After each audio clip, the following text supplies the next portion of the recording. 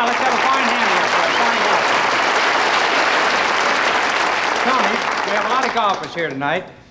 What'd be one thing? Don't confuse them, and don't confuse me. Just tell us one thing that you'd say as a great pro that uh, most of us make a mistake about.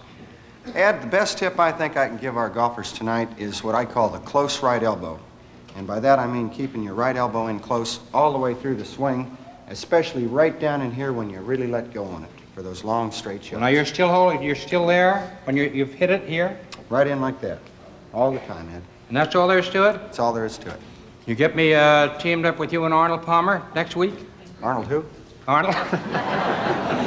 so very, very nice to have you here, and we can all remember that tip. And all you golfers home, that's your spring tip.